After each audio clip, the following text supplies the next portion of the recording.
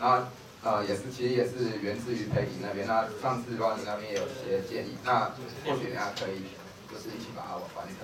那其实缘由就是就是也是从 Peggy 那公务员的 lesson one 里面有提到说，其实公务员在呃 Excel 资料才能 CSV 常常会遇到一些问题这样。对，那那我们也知道说，就是说给他鱼，就是不如教他钓鱼。对，那是但是有时候其实说到鱼，我们也会知道这个何测之福。对，就是有时候可能已经非常赶非常的急，然后但是你还要慢慢的教公务员从头开始用，那其实可能来不及。那或是有时候就是公务员已经很忙了，然后你还要花他花一堆时间，然后去一个一个细节去处理。那或是其实另外的话，就是我们也都知道，人看的报表跟机器读的资料就是不一样。其实自己在整理资料的时候，都还是会用成呃比较人在看的格式，那就是跟机器就是会不相容。那所以目标就是说会写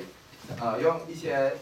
就是小小工具，然后可以减少 Excel 转 CSV 的步骤，然后减少它可能会会的错误。那去修正一些像是之前的 Peggy 在 Lesson One 里面有提到的呃一些因子这样，对。那目前这边就之前呃在 Beta 版本里面，大概就是可以在 Excel 里面做一键完成，然后简单的合并储存格的问题可以去修正，然后去解决像是半形逗号，然后还有就是编码，还有一些额外的空白注解列。那这个是我自己随便乱写的 test sample，那就是左上角是使用前，右下角是使用后。对那再来这个是呃网络上的，对，那它就是使用前，然后就是可以看到说它上面有注解栏、注解列，然后呢它中间有合并储存格等等。那这是就是目标，就是使用后以后是大概长这个样子。那不过还是有一些就是还还没有完成的地方，所以是希望说可以再继续做。那今天的目标是希望说可以让就是大家来体验回馈，然后给一些回馈说怎么新增或修改功能，然后以及说呃这个。